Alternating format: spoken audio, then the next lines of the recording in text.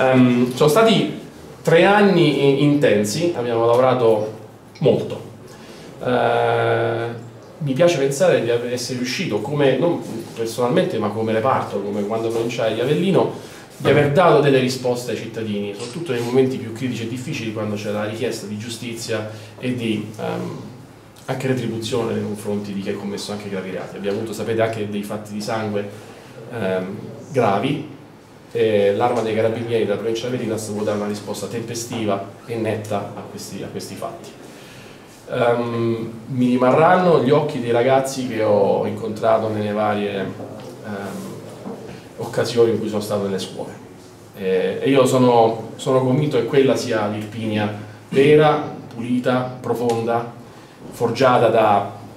una plurimillenaria storia eh, di confronto, di essere una terra di confine.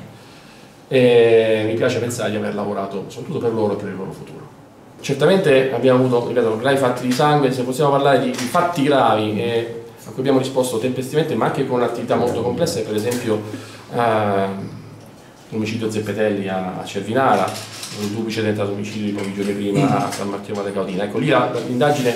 è stata uh, rapidissima, avete visto, uh, abbiamo immediatamente identificato gli autori e responsabili di questi gravi fatti di sangue, ma ciò non vuol dire che l'attività sia stata semplice.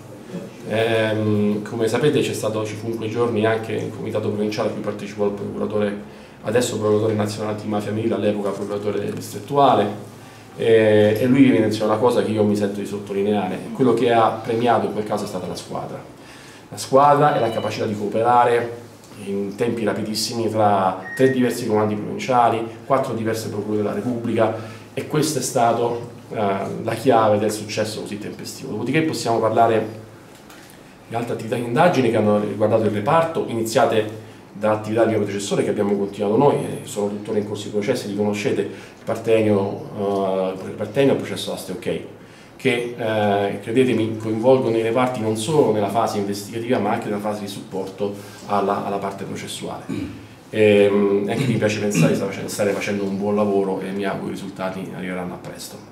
Di recente avete visto la sparatoria che c'è stata a Bagliano, l'inserimento, ecco, lì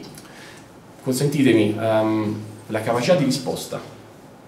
dei, dei, militari a tutti i livelli, non parlo del comandante provinciale, né del comandante di compagnia o del comandante del reparto operativo, ma di tutti i militari coinvolti, questa è stata una delle mie più grandi gratificazioni, cioè quello che abbiamo seminato, di cui abbiamo parlato, di cui siamo addestrati, di cui siamo, abbiamo riflettuto per questi tre anni, ha avuto un esito nella capacità di tutti gli attori, nel caso specifico, di reagire tempestivamente e per bene, come previsto e con efficacia. Questo secondo me è la chiave, ah, io sono molto soddisfatto di come siano andate le cose, eh, ma sono risultati che non si conseguono dall'oggi al domani, ma si seminano ecco, attività di studio, di ricerca, ne, ne accennai se vi ricordate anche il discorso della festa dell'anno, noi studiamo, cerchiamo di imparare dagli errori e di andare avanti. Questo fatto, che sarebbe stato meglio non si verificasse naturalmente, però mi ha dato un po' la, una certa tranquillità sulla capacità di risposta dei, dei miei reparti.